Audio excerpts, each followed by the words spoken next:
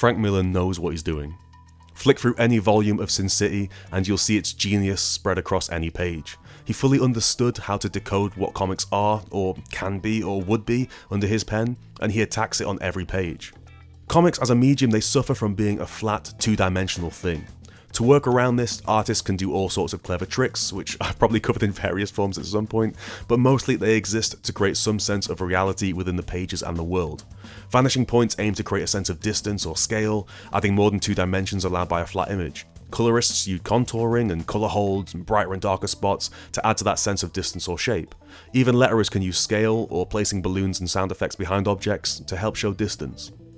And Frank Miller was able to do all of that in just black and white in Sin City, by looking at comics differently than just a way to recreate a world on a flat plane of the page, because instead he asked why. What are we trying to achieve by creating that realistic world? That's the same question asked for all mediums really, and for me it comes down to three things mood, story, and theme. So Miller approached his work on Sin City, and increasingly on other projects since then, by spending each moment in the book building those three elements. Every image on every page is dripping with all three, and he does it through a seemingly simple choice of restricting and narrowing the style in which he's going to draw the pages. I think it's really easy to say Sin City's mood exists just because it's black and white, or because of the scratchy feel of the pen you can say it's gritty and leave it at that. But it misses the true beauty and, yes, genius of how these books are crafted. I'm particularly going to look at that yellow bastard, and I will, as is often the case, stick to the opening set of pages, because that's typically going to be a reader's introduction into this world, so to me it makes sense to start there with us. First things first, let's look at this opening splash. It's made of three elements moving from left to right. Before you get to those though, you're given the title of the book, and this may encapsulate perfectly what one of the tools Miller uses in the book is. It's stark simplicity. It's in your face, it's got bravado, it's large, it's extreme, it's not clean cut, and it doesn't have any superfluous detail. It's the words, the name of the title, in white on black. The title itself is as upfront about the content as anything else is, it's about that yellow bastard. And then we get the three elements, the construction and factory pipes that give us a sense of setting. The car, one thing that constantly occurs in Sin City, and the two characters that lead the narrative over the next page or so on the far right. Miller works in simplicity, and this is a straight left to right page, all on the same plane, dispelling little pieces of information that don't require much from the reader but to follow along. They're all separate, yet linked by the fact that they share that same page, dragging you along. And each element is an exaggerated form of itself in each instance. The factory chimneys and metal bridges and structures don't exist in any meaningful way as far as we can tell, they're just sort of a jumble and mess of forms that exist to create merely an idea of what they're conveying. The car is a muscle car, all curves and sleek lines, boldly lit all the way around it by a bright white light. You know, it's almost like the car of your dreams been lit in a showroom.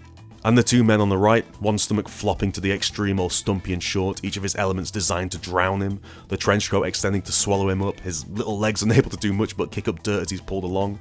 And then you've got Hartigan, all brawn and stoic, dragging him along, fist clenched, unmoved by this other human clinging onto him.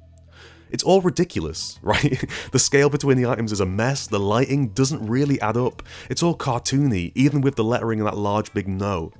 But what it does is it pushes the story.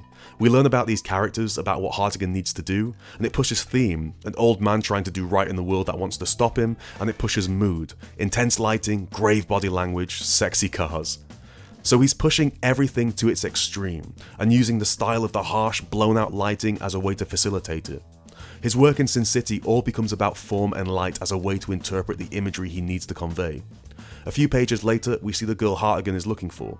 Again, there's nothing in terms of background, you know, he's not using it to suggest location or depredation of a horrible environment she's in or anything like that. He's merely telling us everything through simple light and form. The shadow across the panel is evocative in itself, suggesting pure menace, unspeakable evil. It tells us so much more than who or where, concepts which actually become unnecessary at this point in the story. What it's about though is the fear of the girl. The second panel zooms in on her face. Again, no background, no real detail actually anywhere except for her eyes and mouth, and it's what we need to understand the mood, the theme, and the story. Her scared, young face. Any page you take from this book does exactly the same thing. It distills the visuals to their bare essentials. Each panel seems to be asking the question of why do I exist? And what Miller does is drill down on that concept and deliver only that, nothing else.